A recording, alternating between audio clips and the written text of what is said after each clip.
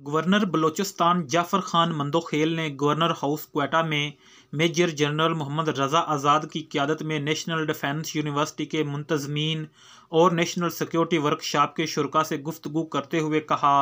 कि सियासत में डायलाग ही मुख्तलफ जहनों को जोड़ता है। सियासी तनजीमें मुकालमे के रुझान को फ़रोग देने और बाहमी रवाबत की हौसला अफजाई करें।